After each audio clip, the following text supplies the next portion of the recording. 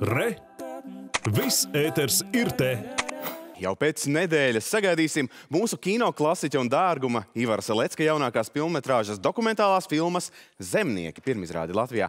Novembrī tā būs redzama arī Amsterdamas dokumentālo filmu festivālā IDFA, kur filma ir iekļauta programmas sadaļā meistari. Šis ir pasaulē nozīmīgākais dokumentālo filmu festivāls, kas norisinās Nīderlandē un kopā pulcē atzītākos nozares profesionāļus.